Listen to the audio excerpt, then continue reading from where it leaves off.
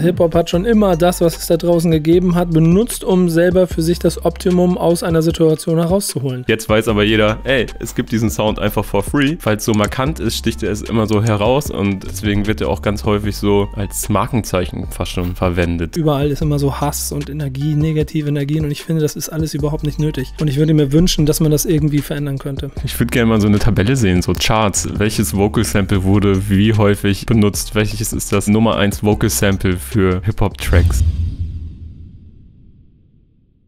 Moin und herzlich willkommen zu einem neuen Backspin Stammtisch. Mein Name ist Nico Backspin schwarze Kappe wie immer. Und mir gegenüber äh, Kevin Backspin, schräge im Hintergrund, wie oft und selten. Also mhm. die, die es jetzt nur hören, sehen es nicht, aber Kevin hat immer so zwei Setups, in denen er arbeitet und er variiert mal ein kleines bisschen.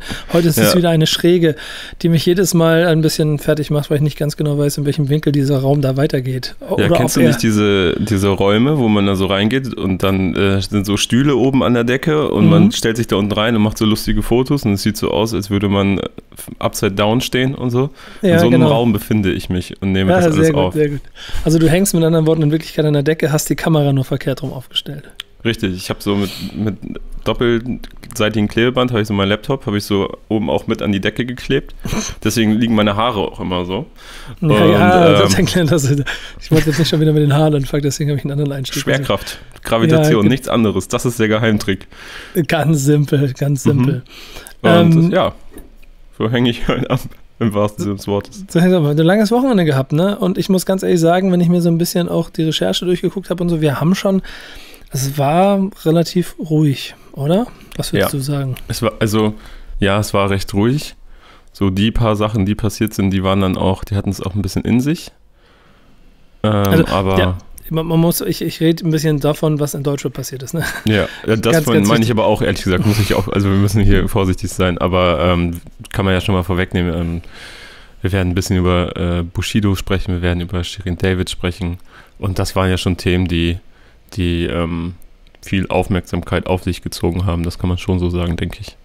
Ja, und, und wenn man dann aber im Vergleich dazu sieht, was tatsächlich dann in, gerade in den USA passiert, wird es vieles davon, vor allen Dingen in meinen Augen, so nichtig und irgendwie ähm, die Verhältnismäßigkeiten rücken da sich ganz krass zurecht. Aber darauf kommen wir sicherlich auch noch später zu sprechen. Ähm, wir haben ja, um das vielleicht immer der Chronologie halber so ein bisschen wieder einzuführen, äh, ja schon mit Thesen ähm, auch in der letzten Woche wieder gearbeitet, auf die es auch ein kleines bisschen Feedback gab. Ich kann bei meiner gleich mal einsteigen. Ich hatte ja als These Capital Bra ähm, ist mehr Hip-Hop als mhm. alles andere in Modus Mio. Da haben mich einige zu Recht dann auch quasi direkt abweggegrätscht äh, mit der Information, dass Modus Mio für sie ja eh nicht viel Hip-Hop mit Hip-Hop zu tun hat. Ja, äh, den, Punkt, ja, den Punkt gebe ich hundertprozentig. Bleibe aber trotzdem dabei, dass äh, Capital Bra aufgrund seiner Legacy und der Art und Weise, wie er sich ähm, seinen Weg dahin erarbeitet hat, wo er jetzt steht, trotzdem äh, verdammt viel Hip-Hop ist, allein schon aufgrund der Dues, die er gepaid hat und wo er angefangen hat, wie er sich da durchgekämpft hat. Ähm, aber ich muss sagen, ich habe ein bisschen, also ich habe nicht so viel Zuspruch geguckt. Das war auch ganz lustig, als ich, ich mache ja immer dann so samstags mache ich ja immer diese Umfrage kurz um, um, mhm. um und diesmal war es wirklich zwei Drittel nö und ein Drittel nur ja. Nö, du hast Quatsch geredet so mäßig. Ich habe Quatsch geredet. Vielleicht ist Modus Mio das falsche Wort dabei. Aber dass er Hip-Hop ist, ich glaube. Ja, aber das es ist so schön plakativ. Ja, dann, aber das ist ja auch der Sinn von den Thesen, ne? Wir wissen ja ganz genau, wenn wir Thesen machen, wenn wir diese vorformulieren, ähm, ob die provozieren werden, ob es Feedback hageln wird oder ob sie einfach nur abgenickt werden. Und das ist ja auch der Sinn der Thesen. Also wir überspitzen die ja bewusst, damit man sie auf Richtigkeit überprüfen kann. Thesen sind ja nicht so, man sagt ja nicht so, hier, zack, so ist es, sondern man gibt eine spitze Formulierung raus, um sie gemeinsam zu diskutieren und zu überprüfen und äh, um in den Austausch zu gehen. Und ich habe manchmal das Gefühl, so Leute ahnen das nicht, aber das ist vollkommen okay, weil ähm, bislang hat das immer Spaß gemacht, der Austausch und äh, ist ja. auch irgendwie ein ganz guter Reality-Check immer. Ja, weißt du, ähm, wenn Leute allen Ernstes immer der Meinung sind, dass was ich, was ich in einer These formuliere, dann auch 100% meine Meinung ist, ähm, dann braucht man auch nicht immer viel darüber zu diskutieren. Es geht darum, hier einen Anstoß zu geben. Es geht darum, mit euch darüber zu diskutieren und quasi etwas in den Raum zu werfen, an dem man sich dann abarbeiten kann. Genau wie du ja gesagt hast, dass TikTok Deutschrap nachhaltig beeinflussen wird. Mhm. Ähm, Und ja, da habe ich auch gelesen, wer TikTok, äh, also solche Sachen wie wer TikTok nutzt, hat sowieso schon die Kontrolle verloren und Hip-Hop und TikTok gehen nicht zusammen und ja. alles Mögliche, aber ich glaube, dann hat man sich auch nicht wirklich mit dem Ansatz auseinandergesetzt, äh, wie das gemeint war, weil es ging ja ganz klar um, um Musikindustrie eigentlich im Grunde. Ja, und ehrlicherweise ist das genau der Punkt an der ganzen Sache, denn äh, Hip-Hop hat schon immer das, was es da draußen gegeben hat, benutzt, um selber für sich das Optimum aus einer Situation herauszuholen. Äh, sonst wären, also wäre es wahrscheinlich zu diesem aktiven Nutzen von Streamingdiensten durch Rapper nicht ge gekommen, ebenso zu dem Boxensystem, was alles Industrieteile sind. Mhm. Aber ähm, äh, Hip-Hop sie quasi in sich hineingezogen hat. Und ehrlicherweise ist das genau das gleiche, was auch mit TikTok passieren wird. Aber auch da finde ich so dieses Feedback, dass es schon ein paar Künstler gibt, äh, ähm, was ich ja damals auch schon gesagt habe, die wahrscheinlich gar nicht so viel damit zu tun haben wollen und werden ähm, dafür sorgen, dass es, eine, dass es da eine klare Grenze, also eine Abgrenzung gibt. Wer kümmert sich darum, wer ist dabei und wer fühlt sich einfach zu alt dafür. Da bin ja. ich mir auch recht sicher, dass ja, das so sein wird. Also ehrlicherweise ist es ja auch ganz sinnvoll, wenn manche Leute vielleicht nicht ähm, sich mit TikTok so viel beschäftigen. Und bei manchen kann es richtig lustig werden. Zumal ich ja selber immer noch, für, selbst für mich, und ich versuche ja schon noch aktiv mit dem Medium umzugehen, selber für mich noch nicht mal ganz genau weiß, wie ich es überhaupt handeln sollte. Ähm, ich habe also, kleiner, kleiner Insight. Challenges mit Nico. Ja, genau, kleiner Insight. Natürlich wird auch Backspin sich, muss Backspin sich auch mit dem Thema TikTok beschäftigen und wir suchen nach Ideen und, und Wegen, wie wir das aktiv und vor allen Dingen auch sinnvoll für uns nutzen können. Und ich habe da auch so eine kleine Liste an, an Videos, die ich machen soll. Und damit äh, gehe ich jetzt schon seit zwei Wochen schwanger, weil ich nicht ganz genau weiß, wie ich sie umsetzen soll. Ähm, Kevin hat sich einfach komplett davor gedrückt. Aber kannst du gar nicht, du musst auch noch ran, ne? Mein Name ist Hase. Ja, genau. Also auch du wirst, wirst da nicht drum herum kommen. Ähm, aber das ist ehrlicherweise, gehört auch ein kleines bisschen dazu, vielleicht auch mal etwas zu machen oder in dem Prozess mal etwas auszuprobieren, was dann vielleicht auch nicht funktioniert, um dann aber festzustellen, so nicht und wir gehen einen anderen Weg. Und ich glaube, so wird es auch TikTok am Ende passieren. Ja, aber ey, Ach, mal gucken. Ich merke ähm, auf jeden Fall, man, man denkt so häufig, wie kann das passieren, dass man so abgehangen wird von einer Social-Media-Plattform, wenn man so über diese Generation Facebook spricht und so weiter. Ne? Also wir hatten das Thema ja auch letzte Woche, als Frank Stratmann von Groove Attack gesagt hat, so, ey, Mero ist an der Generation Facebook einfach vorbeigegangen und keiner konnte sich das erklären. Dabei hat sich auf Instagram so viel Druck angestaut, was die Generation Facebook, wie er sie genannt hat, äh, ja. einfach nicht mitbekommen hat. Und ähm, ich meine, ich hatte vor, bis vor ein paar Wochen auch keine Ahnung, dass Loredana auf TikTok jetzt schon 600.000 Follower hat. So. Mhm. Also. Ist krass, ne? Ja. Und vor allen Dingen, du da musst ja, musst ja eins vor Augen führen. Ich meine, ich führe diesen, diesen Kampf und das ist dann auch ähm, finde ich, ein sehr wichtiger Prozess in dem Job, den wir da machen, sich immer mit den Dingen beschäftigen, die um einen rum passieren. Und du hast ein gewisses Selbstverständnis, weil du noch ein bisschen jünger bist, dass du schon ein bisschen die Generation Facebook belächelst, weil das ja die alten Säcke sind und du zu den jungen, frischen Neuen gehörst. Irgendwann, Kevin, gehörst du auch zu den alten Säcken. Und dann ist nämlich der Punkt, an dem du. Generation Instagram klar machen musst, dass du TikTok verstehst und es nicht weglächelst. Und deshalb freue ja. ich mich auf deine TikTok-Expertise in den nächsten Jahren. Mal gucken, ja, mal, mal gucken, gucken was, was, da so passiert. Ja, vielleicht, vielleicht, vielleicht dann doch deine Triller-Videos oder so. Ich habe keine Ahnung. Ähm, es gibt noch ein anderes Feedback, das ich ganz interessant finde, das ich mit reinnehmen wollte. Ich muss mal ganz kurz, mhm. damit ich auch den Namen noch ähm, dabei habe.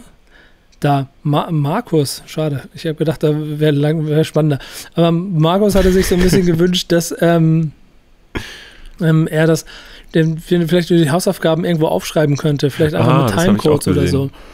Und ich würde ja noch einen Schritt weiter gehen, äh, liebes Social Media Team. Ich möchte einfach, dass wir diese Dinge halt auch als ähm, äh, Hausaufgaben mit in die Insta-Stories mitpacken können, weil das dann noch zu ein bisschen mehr gemeinsamer Hausaufgabenhilfe äh, führen kann, dass wir uns gegenseitig Homeschooling. Können. Ja, genau. Und Thema ehrlicherweise machen wir uns nichts vor, wenn ich mal keine Zeit habe für Hausaufgaben, dann brauche ich halt auch die Hilfe von meinen Kollegen, die dafür sorgen, dass ich ähm, dann trotzdem beim Lehrer glänzen kann. Äh, so einer bist du, ne? Ja, genau, irgendwie so. Ja, das, so hast du, hast du mir das ja beigebracht äh, vor ein paar Tagen wieder. Aber bei mir ist das noch ein bisschen weiter her. Aber so hast du, bist du ja auch durch die Schule gekommen, offensichtlich. ja, ähm, aber, aber mehr schlecht als recht. Ja, aber guck mal, ähm, und pass auf, was hat zwei Daumen ist König der Überleitung.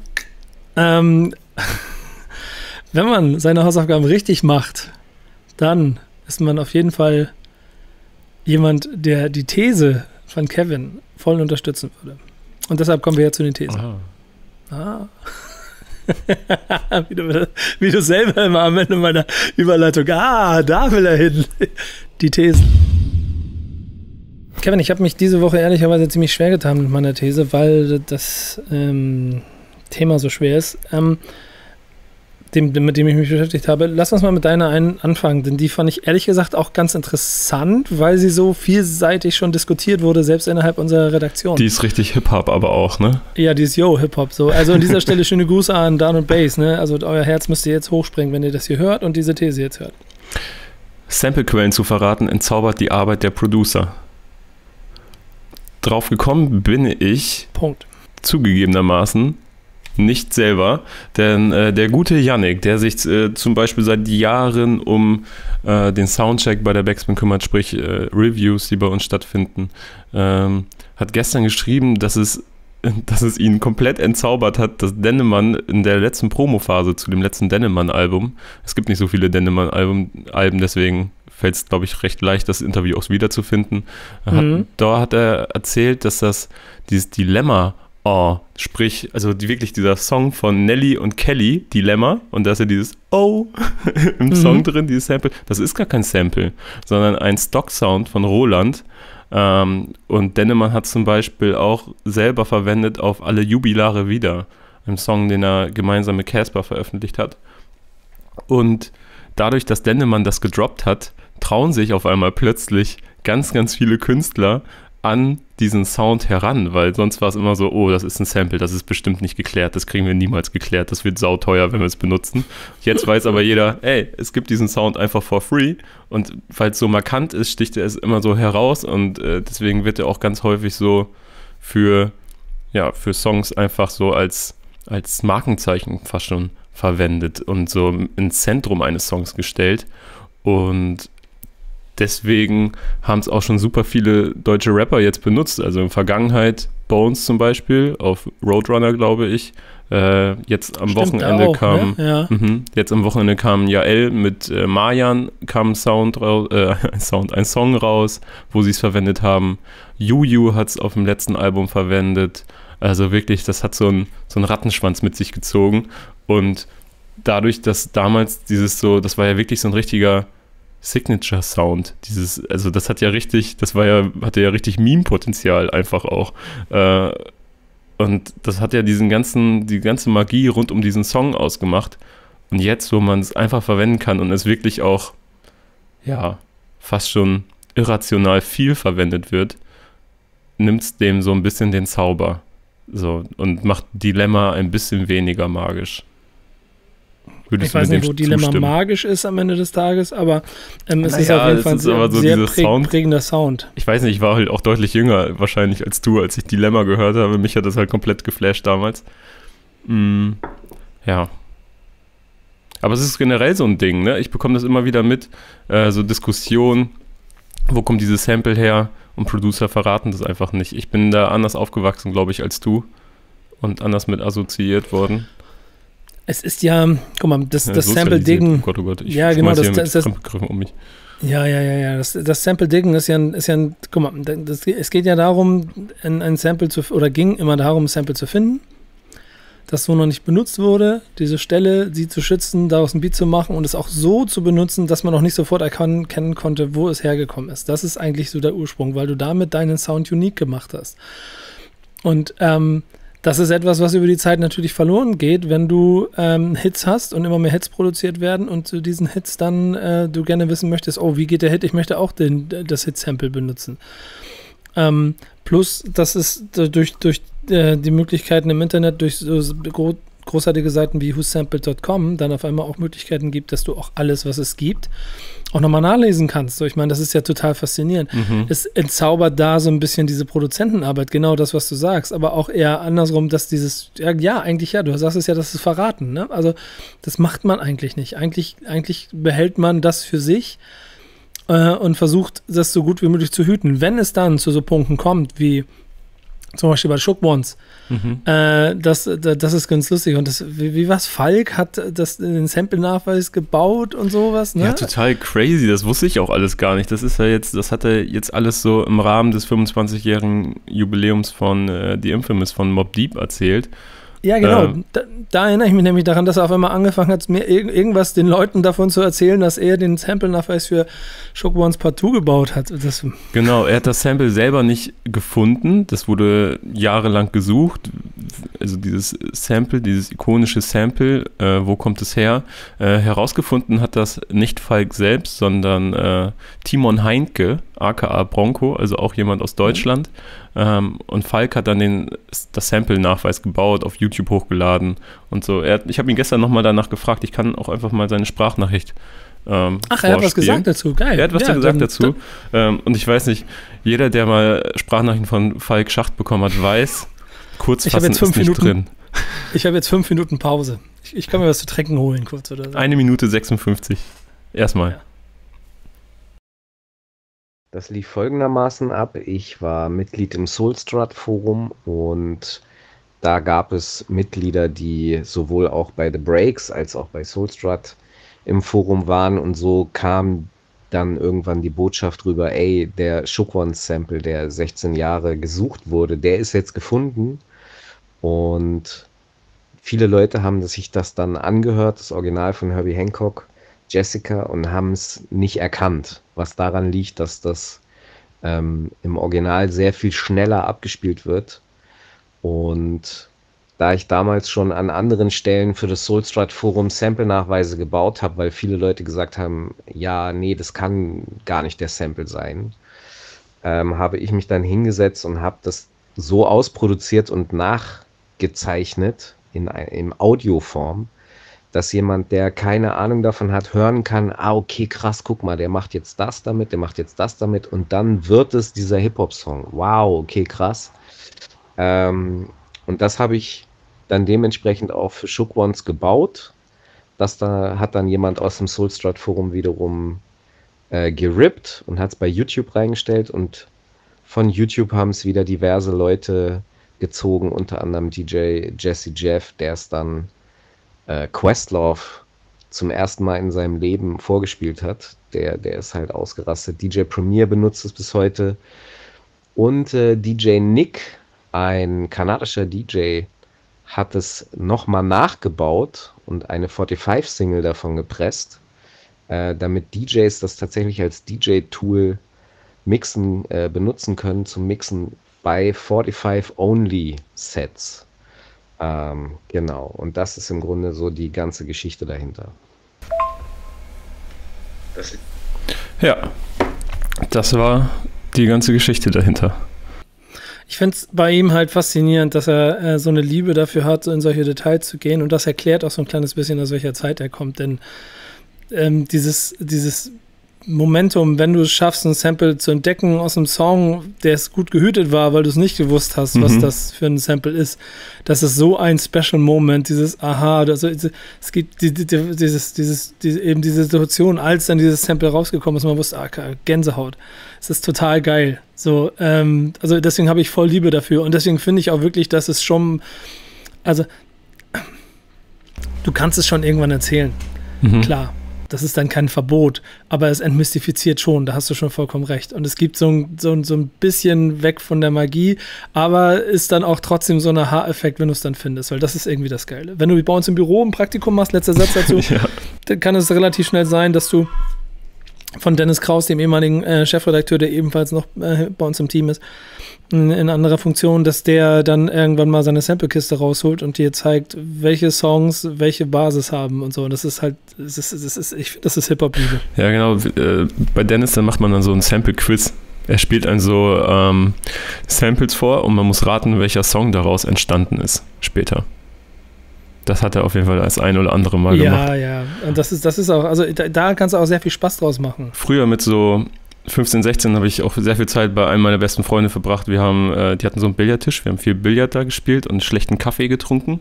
Und äh, sein größerer Bruder war schon sehr viel mehr drin im Hip-Hop und so. Und dadurch kam dann auch sehr viel meiner Sozialisation. Wir haben sehr viel äh, alte Alben und so weiter gehört. Und da haben wir dann auch schon immer so gemacht so, hä, hat das nicht Joel Santana auch mal verwendet und so weiter? Und dann haben wir immer so rumgefachsimpelt, als wären wir solche irgendwelche so Experten, waren natürlich nur naseweise, aber ähm, das hat damals schon sehr viel Spaß gemacht. Deswegen, ich kann äh, diese Faszination dazu sehr, sehr gut nachvollziehen. es ist insgesamt ein Thema, das ähm, mit sehr viel Liebe zur Kultur zusammenhängt. Ähm, vor allen Dingen dann auch ein bisschen mit den Ursprüngen, wo es herkommt, weil der Zugang und der Zugriff halt noch nicht so einfach war wie heute. Ähm, und dass wenn du Datenbanken wie whosampled.com zum Beispiel benutzt, trotzdem es sich zum Dingen an dich anregen soll und du dann weiter nach dem suchst, was es da gibt und was für Möglichkeiten es gibt und wer wo wie was versteckt oder wie auch benutzt hat und so. Das finde ich schon eine hochfaszinierende Sache an der ganzen ja. Geschichte. Ich habe jetzt auch im Rahmen der Recherche zur These habe ich auch einen deutschen YouTube-Channel äh, entdeckt, Mr. Sample heißt der. Mhm. Mhm. Ähm, und der hat. Ist das ein Kollege von Mr. Rap eigentlich? Oder? Ich weiß nicht, vielleicht ist es sein Cousin oder so. Ja. Äh, und der äh, lädt Sample-Nachweise hoch. Von deutschen Rapids, aber nicht von internationalen, sondern von deutschen. Das fand ich auch sehr, sehr interessant. Hat übel Spaß gemacht, reinzugucken. Vor allen Dingen kann es insofern interessant sein oder werden, äh, wenn man äh, noch nicht weiß, ob wirklich alles geklärt ist, was da benutzt wurde. ja, vielleicht bibbern da jetzt auch einige Kollegen. Ähm, ja, also muss sagen, gut ist, sagen, aber es ist interessant für mich auf jeden Fall als Außenstehender. Ja, muss man sagen, die, die, die er da benutzt hat oder die da aufgezeigt hat, die sind schon, ähm, die sind schon, schon, schon, also mit Sicherheit geklärt. Dazu ist das zu groß teilweise. Aber Na, selbst bei Bushido war es ja, war es ja auch immer so, dass der das nicht gemacht hat. Ja. Und wenn der Produzent halt der Meinung ist, hey, ich habe was super Geiles, ach, scheiß drauf, wir, wir winken das hier so durch und dann findet hinten raus jemand das raus, dann kann es teuer werden.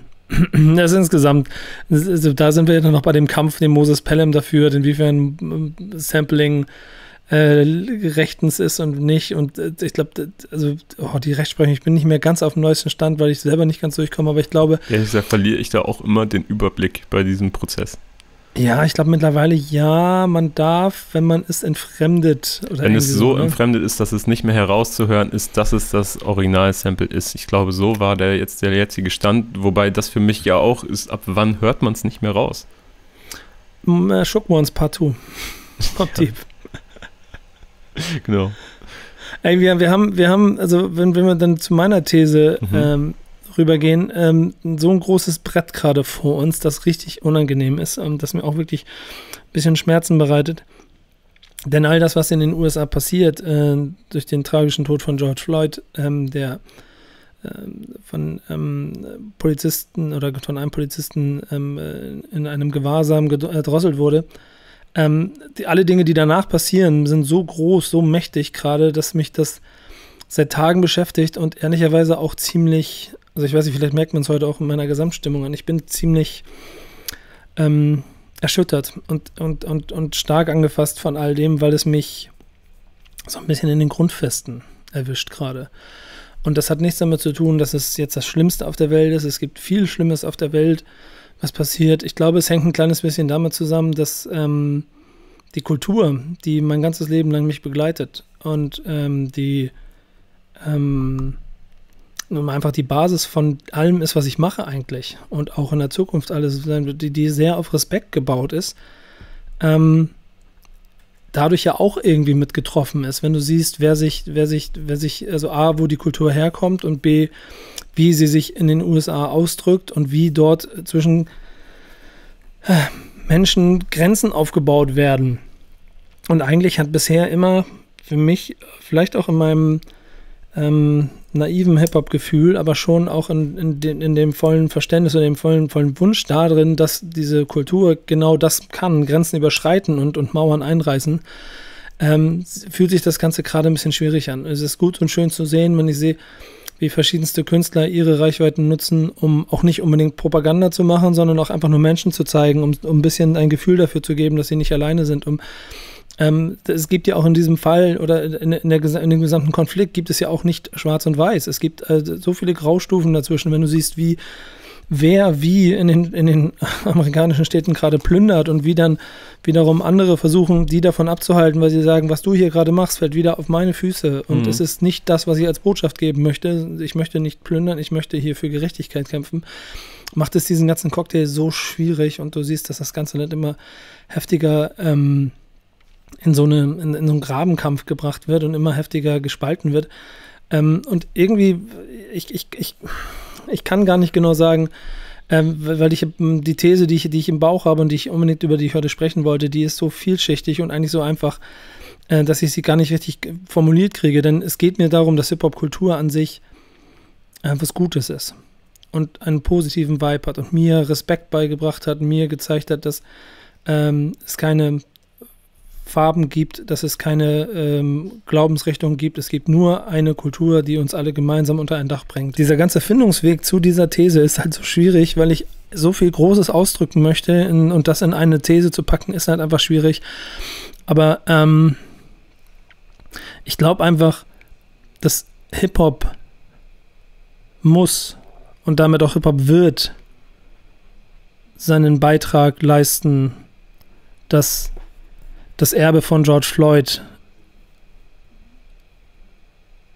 geehrt wird.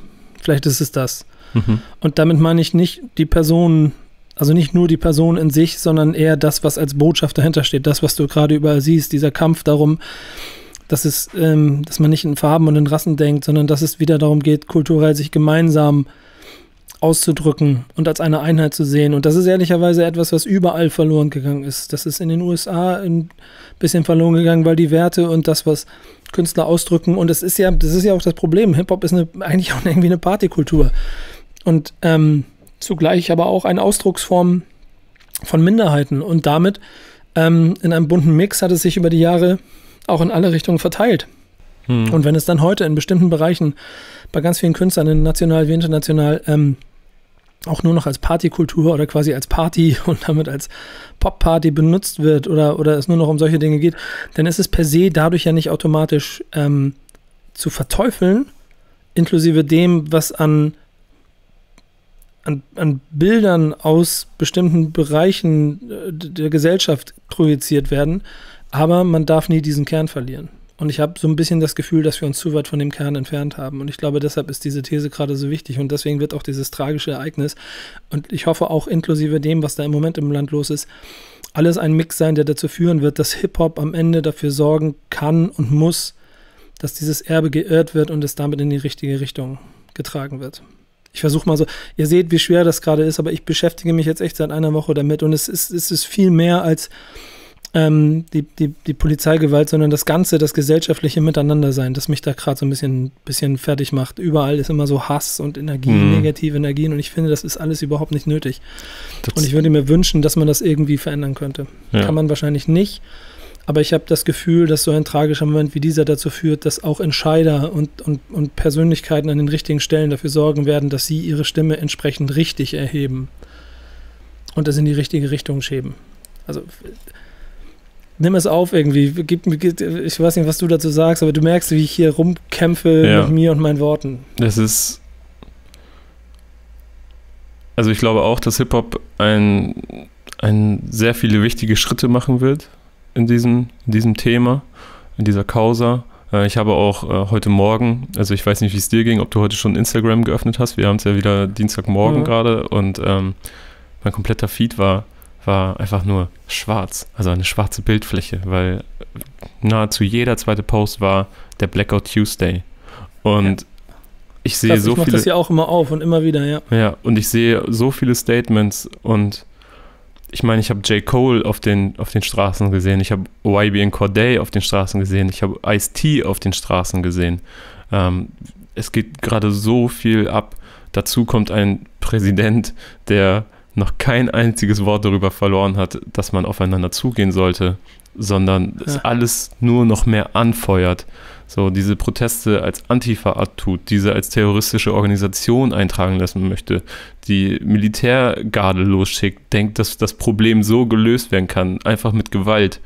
Ähm, es geht auch nicht um George Floyd, es geht nicht um einen tragischen Einzelfall, es geht darum, dass jetzt, dass das einfach der Tropfen war, der das Fass zum Überlaufen gebracht hat. Und ich sehe auch an den Reaktionen hier in Deutschland, dass es, dass es scheinbar zu viel ist. So, ne, du hast vorhin gesagt, so, du bist mit Hip-Hop aufgewachsen, du, du siehst keine Farben quasi, aber, aber dieser Satz, ne, dieses, ähm, ich sehe keine Farben, das, das reicht nicht mehr, sondern, sondern es reicht nicht mehr, nicht rassistisch zu sein, sondern man muss antirassistisch sein, so, man muss Leute darauf aufmerksam machen, so Alltagsrassismus und es geht darum, ja, aneinander aufmerksam zu machen und es ist schon krass. Also ich merke auch, wie mein Herz schlägt, wenn ich hier gerade so darüber spreche, weil es etwas ist, wo, was die letzten Jahre so intensiv geworden ist, so ein krasses Thema. Ähm, und es wird immer intensiver und jetzt gerade ist es auf einem, auf einem neuen Hoch auf jeden Fall. Ich, ich kann auch ähm, das Problem ist, ich kann, ich kann auch viele Seiten verstehen, weil man darf an bestimmten Punkten ja trotzdem, es gibt, was ich schon meinte, es gibt kein Schwarz und Weiß. Es gibt, es gibt in jeder Richtung gibt es irgendwie ähm, Argumente und, und, und, und, und Verständnis, das man äh, aufbringen kann für bestimmte Situationen. So. Ja. Denn äh, ehrlicherweise wird es auch für, keine Ahnung, zum Beispiel Polizisten in den USA an manchen Stellen nicht leicht sein, ihren Job zu machen. Auf der anderen Seite ist nichts von dem, aber auch überhaupt gar nichts, was das Überschreiten einer Menschenrechtsgrenze rechtfertigt. Und ich glaube, das ist das, was mich gerade so umfasst. Und ich glaube, das ist auch der Grund, den, warum gerade es so eine Macht gibt und eine Wucht gibt, die weit über Proteste in den Städten in den USA hinausgeht und abends brennen irgendwelche Dinge oder sowas alles, sondern du merkst richtig, wie eine Wucht durch die durch eine ganze Generation geht. Und ich habe sehr große Hoffnung, dass Hip-Hop seinen Beitrag dazu leisten kann, dass irgendwie da eine richtige Botschaft gesendet wird. Es ist, also es ist total interessant. Ich meine, lass uns das auch dann zumachen, weil wenn ähm, äh, es ist schwer genug. Es gibt nur eine Sache, die ich dabei total interessant fand. Ähm, ich habe einen Song der Woche mitgenommen, mhm. zu dem kommen wir nachher noch, aber ähm, die Rap Cavia Playlist auf Spotify zum Beispiel. Über 12 Millionen User. Die größte Hip-Hop-Playlist, glaube ich, die es gibt auf Spotify, ja, oder? Ja, ich glaube überhaupt die größte Playlist. Ich weiß nicht, wie es eine größere Playlist als sie. Ja. Ähm, haben seit heute, heute Dienstag, heute Nacht ähm, Alright von ähm, Kendrick Lamar mit oben auf die Playlist gesetzt. Natürlich liegt das an dem Blackout Tuesday, um den es hier geht, aber die Botschaft, die dahinter steckt, die finde ich so mächtig und so krass. So. Und auch den Künstler und die Botschaft und das, was er da sagt. Lass uns mal wieder versuchen, das irgendwie in die richtige Richtung zu bewegen. Das heißt nicht, dass jeder Künstler auf einmal jetzt seinen, seinen Stil ändern muss aber dass man vielleicht grundlegende, bestimmte Grundwerte nicht vergisst und die nicht, die nicht äh, außer Acht lässt. Das ist, glaube ich, das, worum es mir geht. Ja, und, und auch hier in Deutschland sehe ich ja, wie sich die, wie sich gerade so ein bisschen, ähm, wie sich viele Leute der eigenen Privilegien bewusst werden. Also ne, mit dieser, mit dieser Haltung, ähm, es, es, ich sehe keine unterschiedlichen Hautfarben. Doch, es gibt unterschiedliche Hautfarben. So, es gibt schwarz und weiß. So wir, so, wir beide, wir müssen uns keine Sorgen machen, wenn wir zu einer Wohnungsbesichtigung gehen, wenn wir uns um einen Job bewerben und so weiter. Wir müssen, wir müssen nicht äh, gucken, wie wir nachts nach dem, nach Feiern nach Hause gehen, ob wir vielleicht mal einen kleinen Schlenker zu viel machen oder so, weil es eine Gegend gibt, in der vielleicht Leute sind, die ich, auf die man nicht treffen möchte. So, das haben wir nicht. Und ich glaube, dem muss man sich immer häufiger bewusst werden, gerade in dieser Zeit, dass das dass wir schon unterschiedlich sind auf eine Art und Weise, die wir nicht wahrhaben wollen. Und genau das muss man bekämpfen. Es ist ehrlich, weißt du, was, das nächste Problem daran ist, wenn wir ähm, natürlich auch in dem Format neben den Thesen auch über Nachrichten sprechen, werden die alle so ein kleines bisschen belanglos. Und trotzdem müssen wir darüber. Insofern fangen wir jetzt einfach mal damit an und gehen zu den News.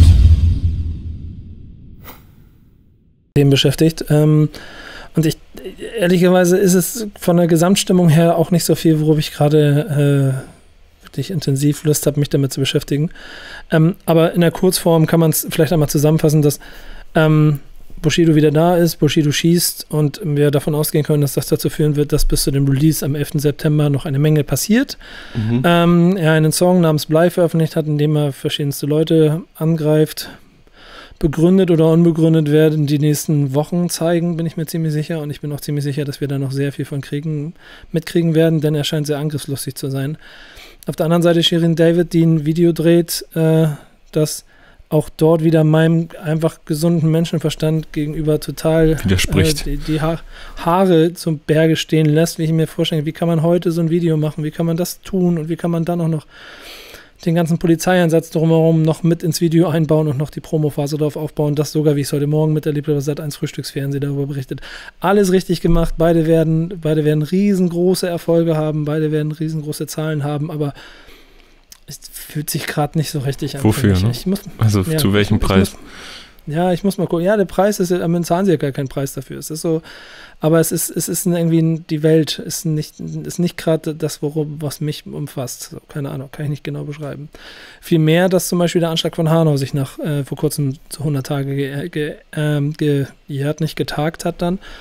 Ähm, wo es mir eigentlich ehrlicherweise nur wichtig ist, und ich denke, da stehst du mir zu, Kevin, dass mhm. man das sind die Themen, die darf man nicht vergessen. Und deswegen ist es auch nach 100 Tagen immer noch wichtig, darauf ähm, hinzuweisen, dass, was da passiert ist äh, und dass man das immer im Hinterkopf behalten sollte. Ja, vor allem, es führt einen ja auch einfach wieder konkret vor Augen, so, ey, Leute, das, was da passiert, das ist nicht nur USA, das ist weltweit und das ist auch vor allen Dingen auch hier ein Riesenthema seit Jahren, Jahrzehnten, eigentlich seit jeher und verschließt eure Augen nicht davor. Ja. Ich hatte da nicht auch so den, den, das Gefühl, dass Hanau hier den, den, der Tropfen war, der das fast zum Überlaufen gebracht hat. Aber dann, zwei Wochen später, hat schon keiner mehr über Hanau gesprochen. Und keiner ist ja, das ist natürlich sehr verallgemeinernd, ne? aber ähm, die großen Tageszeitungen, denen war das Thema sehr schnell sehr egal, weil dann Corona war. Und ich glaube, das ist, äh, und wenn es nur in, in, kleinen Schritten ist, aber auch von unserer Seite aus vielleicht immer wichtig, darauf hinzuweisen. Deswegen möchte ich auch hier an dieser Stelle sowohl, sowohl darauf hinweisen, dass bitte nicht vergessen wird, was in Hanau vor 100 Tagen passiert ist oder jetzt 100, 405 Tagen. Und auch, dass es ähm, immer noch diesen Song gibt, zum Beispiel, den man sich anhören kann, der einem vielleicht auch ein Gefühl dafür gibt, was in den Künstlern vorgegangen ist. Denn Celo Abdi, Asimemo natürlich als, als, als Vorreiter, Kredibil, Rula, sie alle haben mitgemacht und haben damit versucht, ein Statement zu setzen, das so nicht verloren gehen darf. Und ähm, ich würde mir einfach wünschen, wenn wir es irgendwie hinkriegen, dass die Leute da draußen wieder ein kleines bisschen mehr an das Miteinander denken und nicht an das Gegeneinander. Und ich hatte auch so ein bisschen immer die Hoffnung darin, dass diese Corona-Krise so ein bisschen dazu führt, dass man sich wieder ein bisschen mit zurückzieht und ein bisschen besinnt auf Dinge. Das ist zumindest etwas, was bei mir passiert ist. Scheinbar gilt das nicht für alle Menschen da draußen. Es bleibt Ey, die Hoffnung. Hast du diese die Bilder aus zuletzt. Berlin gesehen, wo so Hunderte auf der Spree unterwegs waren? Hm, hm. Alter Schwede. Ja. Am Ende des Tages ist sich dann doch immer jeder selbst der Nächste. Das macht es ein bisschen schwierig. Aber ehrlicherweise macht das dieses Mal auch den Newsblog so ein bisschen schwierig, denn das überherrscht bei mir nach wie vor alles, was in den USA passiert. Es macht keinen Spaß, über so Deutschrap-Gossip-Kram zu reden, ne? Nee, absolut gar nicht. So. Lass uns mal lieber über Releases reden. Mhm. Du hast einen Song mitgebracht. Ich habe ein ganzes Album mitgebracht. Ach so, sogar ein ganzes Album. Ein sorry. ganzes Album, ja. Und zwar äh, Alfredo von Freddie Gibbs und The Alchemist. Ähm, ziemlich schnell erzählt eigentlich. Es ist ein sehr klassisches Album. Es ist sehr sample-basiert. Ähm, heute sehr sample-lastiger Podcast. Ähm, ja, du, du kommst zurück, zurück du, du besinnst dich auf die Wurzeln. Ne? Ab und zu, ab und zu, wenn mir was gefällt, dann ähm, bin ich wieder voll drin. Und das ist so ein Album, das gefällt mir einfach von vorne bis hinten. Die Beats sind so ich kann es nicht anders sagen, geil, dass ich, ich, ich würde es mir auch so anhören und Freddie Gibbs rappt einfach so geil darüber. Generell die Alchemist, ich bin großer Fan von ihm. Ähm, nicht nur so als Producer, sondern auch als Typ. Er hängt ja auch sehr viel mit ähm, Action Bronson ab und so und äh, ist Teil von Fuck That's Delicious, äh, der, der Food-Serie von Action Bronson, die jetzt auch in die vierte Staffel gestartet ist. Ähm, Action Bronson-Fans sei gesagt, ich glaube, Action Bronson hat so seine mh, mm, so seine Streitpunkte mit Weiß, oder, beziehungsweise Noisy. Die Staffel kommt jetzt raus und dann bewirbt sie natürlich, aber ich glaube, er ist kein Fan mehr von dieser Zusammenarbeit. Ähm, deswegen beim Abkulten. Wo das wohl herkommt. Muss man Team Bronzolino sein. Ähm, aber zurück zu diesem Album, ey, wirklich richtig, richtig stark. Freddie Gibbs, ähm, auch underrated meiner Meinung nach. Ähm, hat letztes Jahr auch ein sehr starkes Album mit äh, Currency rausgebracht. Und äh, auch ganz interessant, das wusste ich selber noch nicht. Ähm, ihm wurden 2000, ähm, 2016 wurde er verhaftet in Frankreich, da er zwei Frauen mit Hilfe von K.O.-Tropfen in Österreich, in Wien, in einer Show in Wien, ähm, äh, ja, missbraucht haben soll. Allerdings und das ist auch alles vor Gericht aufgearbeitet worden, etc. ging es um, um äh, A, hatte er diese beiden Frauen nie gesehen. B ging es um jemanden aus seiner Entourage. Und C hat sich am Ende herausgestellt, ist, ist, dass diese Frau es wohl getraum, geträumt haben soll. Ist natürlich ein sehr, sehr, sehr sensibles Thema. So, weil wir diese ja. Fälle immer wieder haben und immer wieder merken, wie sich Leute da rauswinden wollen, wie Vergleiche gezahlt werden, wie, wie irgendwie durch Druck, finanziellen Druck, finanzielle Mittel sich so Situationen erarbeitet werden, wie man es da raus schafft als als, äh, als Täter. Und ähm, es gibt aber ein sehr langes Interview und es gibt sehr viele Berichte zu, diesen, zu diesem konkreten Fall. Und ähm, ich glaube da Freddy Gibbs. Äh, und es gibt da ein, ein sehr gutes Format, wo wir wieder bei Noisy wären, ähm, was ich gesehen habe, was ich vorher nicht kannte. Es heißt The Therapist äh, und ein ähm, mhm. Therapeut sitzt dort und spricht mit äh, Rapstars, wie zum Beispiel Joe Budden über sein, seine andauernde Wut oder eben Freddie Gibbs über genau diesen Vorwürfen und Vorwürfen. Und sie sprechen dort äh, eine halbe Stunde lang miteinander ähm, über diesen Fall und Freddie Gibbs wirkt getroffen. So, und ähm, das ist wirklich, das hat mich nachdenklich gemacht und das würde ich auch jedem dazu empfehlen, zu diesem Album, äh, sich also nicht nur mit der Platte zu beschäftigen, sondern auch mit Freddie Gibbs. Äh, es sind auch sehr coole Features drauf. Äh, Rick Ross, Tyler the Creator, ähm, ich habe letztens über Griselda gesprochen, dafür sind auch Conway ist unter anderem drauf. Und äh, ja, macht Spaß.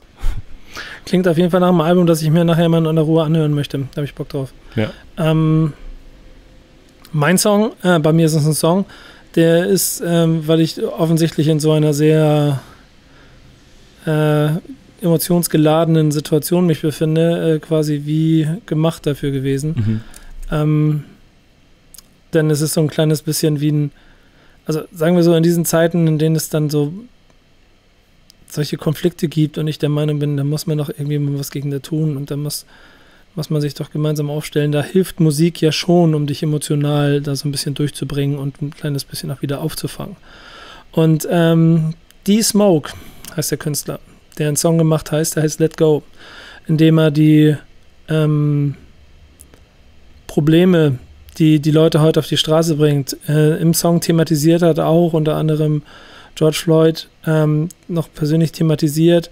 Der Song ist ihm ge gewichte, äh, ge gewidmet ähm, und offensichtlich direkt am Todestag von George Floyd geschrieben. Ähm, die Smoke selber, wen, wen, wen noch nicht ganz auf dem Sender hat, ist, ist aus dem eigentlich sogar, und das war mir erst im Nachhinein wieder bewusst, aber aus diesem Netflix-Format Rhythm and Flow ähm, ich den als Namen Gewinner direkt damit verbunden. Das war meine einzige Assoziation ja. mit ihm.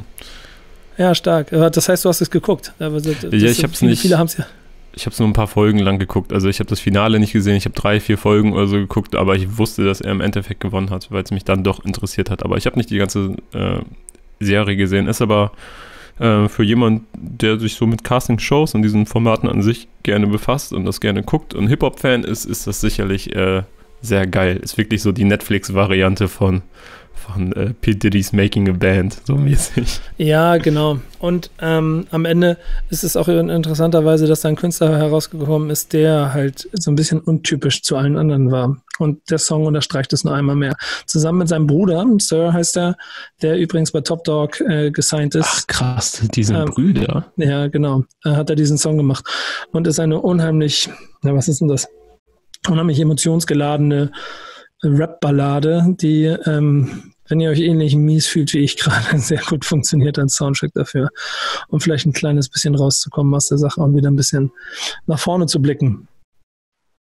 Und ich glaube, das sollten wir auch, denn äh, auch wenn diese ganze Sendung so einen hart und einen ganz komischen Stimmungspunkt hat gerade, ähm, würde ich sagen, steigen wir trotzdem mal in die Hausaufgaben. Fangen wir mit den Hausaufgaben an. Und ich denke, ähm, ich gehe mal durch meine Hausaufgabe durch, denn mhm. ähm, du hast mir, du hast mir das mitgegeben, was äh, ich kann es gar nicht genau beschreiben. ähm, auf jeden Fall wieder sehr, vor allem zu der Zeit auch noch ein bisschen sehr im Untergrunddicken war. Äh, das war richtig Untergrund, Untergrund ja. damals. 2016er Nummer, äh, alleine schon das Video. Haiti und Alpha Mob ist vom ähm, Alpha Mob Album äh, Swaffle Funk ähm, mhm. und ist ist eine, ist, der Song heißt Ich nehme die Glock und das ganze Paket ist total interessant. Vor allen Dingen, wenn ich mich, wenn ich mich heute, wenn ich mich heute angucke, sehe ich das natürlich mit anderen Augen, als es ich wahrscheinlich 2016 gesehen habe oder hätte. Ich bin mir nicht mal sicher, ob ich es da mitgekriegt habe. Mhm. Ähm, wenn, wenn nicht, also, also ich werde es wahrscheinlich mitgekriegt haben, weil sonst werde ich meinen Job nicht vernünftig machen. Mhm. Aber es, äh, es, es, es ist ein bisschen. Ähm, sowohl vom Soundbild her und so etwas, was damals, glaube ich, nicht, nicht, ganz so gecatcht hätte, aber die Nummer ist jetzt geil. Ja. Und das war sie damals auch ganz genauso und sie macht auch Spaß. Vor allen Dingen ist es aber auch dieses, also sagen wir mal so, ich habe in meinem Leben noch nie ein Haiti-Interview gemacht, ne? Ja, glaube ich. Ja, ich glaube mhm. ja. Ist auch ähm, ein rares Gut. Ja, oder was Kurzes nur. Und das Video und die Art und Weise, wie die 2016 Haiti sich hier bewegt und vor Kamera performt und im Prinzip keinen Bock auf die Kamera hat beim Performen, ist äh, quasi, der, der, zeigt schon den Ursprung von all dem. Und Alpha Mob äh, einfach mit einem sehr, sehr geilen Sound. Also es hat Spaß gemacht. Aber es ist ja nach wie vor, also es ist ja quasi immer noch Indie, ne? Also ja. 68.000 YouTube-Klicks, 30.000 bei Spotify, kriegt keiner mit und trotzdem ist das ein geiler Song und er ist auch 4 Minuten 45, insofern passt er nicht. Und äh, Inhalt, also ehrlich gesagt, Inhalt ist nicht hängen geblieben. Nein, ist auch, ist auch ähm, Ich nehme so, die Glocke und schieße in die Luft. Genau, es ist auch eher so, egal, nicht so wichtig, aber ganz witzig, nämlich äh, Haiti hat ja letzte oder vorletzte Woche ein Video veröffentlicht und ich habe mich gewundert, warum es zehn Minuten lang ist. Ich dachte, das wird so ein Kurzfilm oder so, aber sie hat einfach Video zum neuen Song, Abspann und auf einmal sieht man sie auf so einem Parkplatz einfach und sie rappt den kompletten 4 Minuten 50 Ich nehme die Glock-Song von 2016 einfach. Ach, so richtig, krass. So okay. richtig, so richtig, äh, keiner weiß so richtig warum. Und äh, witzig war, dass ich am Tag, nachdem das Video rauskam, äh, Mittagessen war mit Alpha Mob. Und dann meinte er so, ja, ich habe gestern quasi aus dem Nichts äh, eine Nachricht bekommen, so, ey, hier, ich habe das gemacht ist das für dich in Ordnung? und äh, ja, er war genauso überrumpelt wie ich und wusste auch nicht so richtig, warum das so ist, aber ich glaube, das ist auch einfach so ein Umstand, äh, ein, dass das Phänomen Haiti ganz gut erklärt. Äh, niemand weiß so genau, warum sie was tut, warum sie was wann tut, ähm, aber sie macht es halt einfach und es ist irgendwie unterhaltsam und ähm, interessant. Und ich habe ihn auch nochmal gefragt, ob er uns vielleicht eine kleine Sprachnachricht schicken könnte. Äh, ah, geil. zu diesem Song. Schön. Diesmal warst du der mit den Sprachnachrichten, das freut mich. Richtig, ich habe mir da was gut abgeguckt. Gearbeitet. So, äh, hier jetzt mal mein Schnack für den Podcast. Äh, warte mal, wie fange ich denn am besten mal an? Mhm. Kaugummi rausnehmen vor allem. Also, ja, der Track, äh, ich nehme die Glock, äh, ist folgendermaßen entstanden. Ähm, ich habe ja relativ lange mit Funky Cool Martina hier immer Partys geschmissen und äh, da war Haiti auch immer schon zu Gast. So, ich kannte die eigentlich da aber nicht. Martina war aber schon mit der irgendwie bekannt. Und äh, ich habe einfach auf blöd Martina gesagt, sie soll mich connecten, hat sie getan. Äh, wir haben ein Studio-Date ausgemacht. Ronja kam äh, mit der S-Bahn angefahren, hat auf der Fahrt dahin den Text geschrieben. Wir haben es aufgenommen und eine halbe Stunde später war sie schon wieder weg. ja, that's the story. Und eines Tages war ich im Schrebergarten, auch nicht viel später. Sie rief dann an und meinte so, ich drehe gerade ein Video. Ja, und dann gab es ein Video. So ist das ungefähr gewesen. Also, Stell es mir auch ungefähr genau so Gut. vor. Ja, alles genau so, wie man sich hätte, sich hätte ausmalen können. Ähm, ja, stark. Aber ja. ein guter Song. So, hat Spaß gemacht. Ähm, ein bisschen tief in den, in den, in den äh, aktuellen Kammern. Du musst ja mir Neuzeitsachen geben, so ein mhm. bisschen in den tiefen, äh, in den unteren Etagen ein bisschen rumgegraben. Ich habe dir ja andersrum etwas rausgesucht, was gefühlt wahrscheinlich für jeden, der um die 2000er Hip-Hop-Head ist und irgendwo auf, auch schon auf Festivals oder Konzerten war und gerne den Hip-Hop-Arm geschwungen hat, ja. eine der wichtigsten Hymnen ist, die man in diesem Zusammenhang, glaube ich, äh, überhaupt haben kann. Definitiv, Worst Comes to Worst. Ähm, wahrscheinlich auch wahrscheinlich auch eins der ich, ich würde gerne mal so eine Tabelle sehen, so Charts. Welches Vocal Sample wurde wie häufig äh, benutzt? Welches ist das äh, Nummer 1 Vocal Sample für, für Hip-Hop-Tracks, so für Referenzen? Ich glaube, auf äh, Genius wird das Interpolates genannt. Aber mhm. ähm, Worst comes to worst, my peoples come first. So, das ist einer der wahrscheinlich meistgehörtesten Sätze, wenn man sich mit Rap und US-Rap auseinandersetzt und ähm, ähnlich wie ich ähm, so Anfang der 90er oder äh, 91 geboren ist und dann so angefangen hat, so rund um so mit 10, 11, 12, 13 Jahren so langsam dieses Fable dafür zu entdecken und zu entwickeln und der Song kam 2001 raus.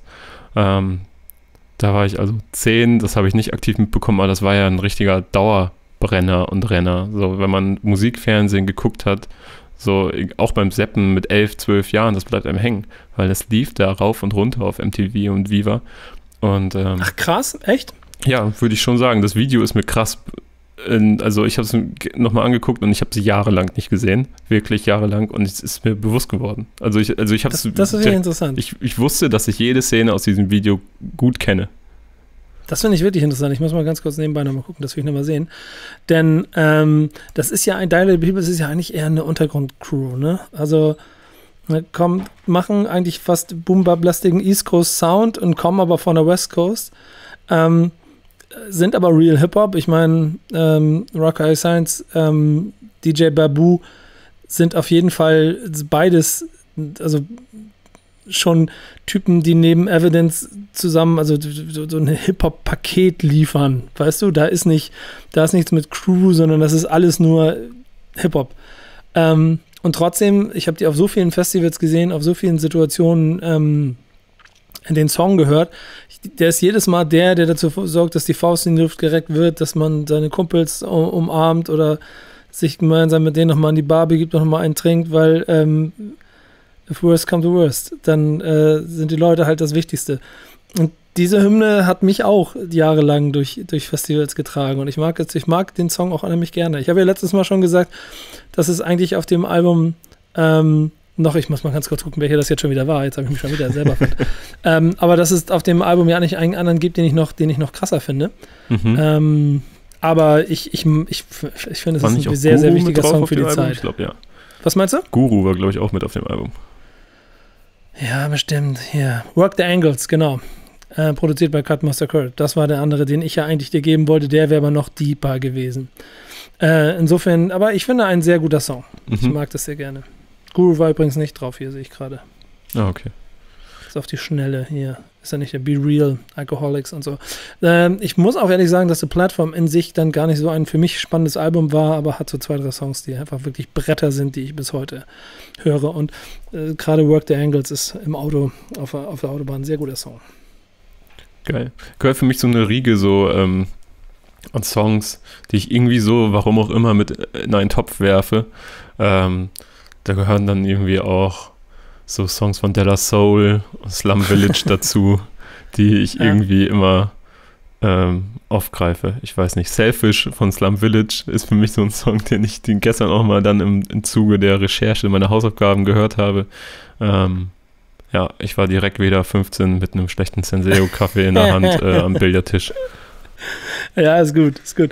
Kann ich auf jeden Fall fühlen. Also ich, wer ihn nicht kennt, also da geht es wahrscheinlich nicht so viele von, denen empfehle ich auf jeden Fall diesen Song nochmal. Hört auch gleich noch Work the Angles hinterher.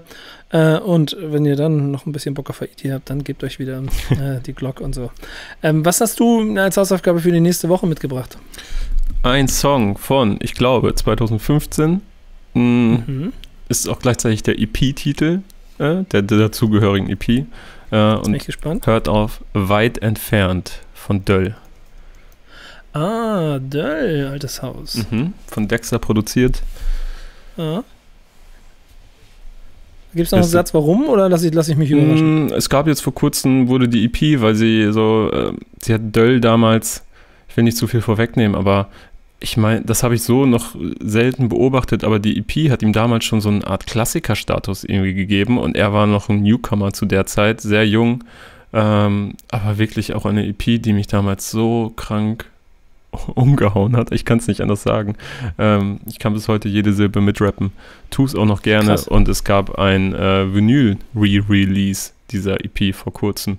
Äh, ich glaube, es- wenn ihr jetzt äh, denkt, so, was, ich brauche das haben, zu spät, ist schon lange ausverkauft ist. Aber ähm, ja, ich möchte sehr gerne nochmal mit dir darüber reden, weil äh, ich das gerne nochmal aus deiner Sicht gehört hätte, wie du das findest. Weil ich könnte mir auch vorstellen, dass es damals vielleicht sogar so, so ein Hauch an dir vorbeigegangen ist.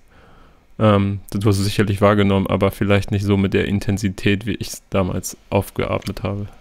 Das definitiv. Döll schon immer kennen, wahrgenommen, aber es, es wird deswegen spannend, auch nochmal ein bisschen zurückzublicken.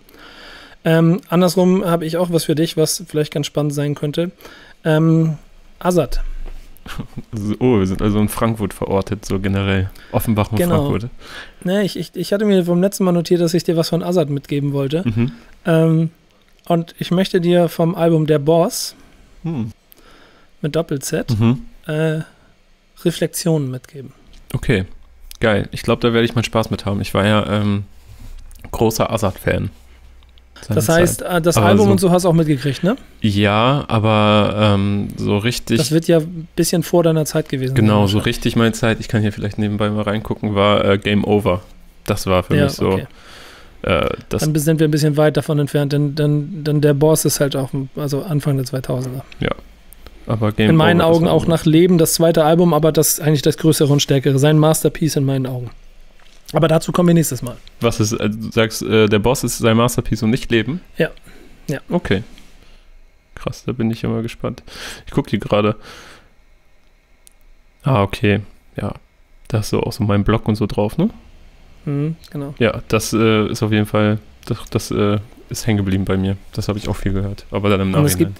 Und, und ehrlicherweise habe ich den Song auch deshalb ausgewählt, weil es auch da eine Zeile drin gibt, die so prägnant in diese ganze, ganze Stimmung und ich entschuldige mich jetzt am Ende nochmal für meine recht miese Stimmung, aber auch die hier gibt es eine Zeile, die passt. Auch wenn es, ähm, wie er damals sein Leben beschrieben hat, ein Kanak in der Limo heißt, gib mir einen Grund und ich halte dich an. Ja. Es ist alles. Äh, ich habe, ich, ey, Leute, es tut mir leid, ich bin heute nicht der beste Gesprächspartner für äh, Jubel-Hip-Hop-Szenen. Ich mal gucken, wie es nächste Woche wird, ob es dann besser wird. Bis dahin äh, wünsche ich euch aber eine schöne Nächste Woche, Woche. sind wir live. Stimmt. Wir sind live, ne? Ja. Wir kommen wieder einen Tag später online, aber dafür kann man uns, wenn nichts schief geht oder so, äh, Dienstagabend live zugucken. Wir sind nämlich mit äh, Dienstagabend, 20 Uhr, ne? Oder so? 20.15 Uhr, Dienstagabend, 20.15 äh, auf dem YouTube-Channel von Cara-Tunes. So wie Quarantäne und Tunes. Cara-Tunes. Da sind wir Projekt zu von sehen. Carsten Jahnke. Richtig. Und es wird gespendet. Und mehr erzählen wir Genau. dann nächste Woche dazu. Aber ihr könnt uns live zugucken, wenn ihr Bock drauf habt. Freut euch drauf. Ich freue mich drauf. Dann bin ich besser gelaunt. Bis dahin, macht's gut. Backspin Stammtisch. Bis nächste Woche. Ciao.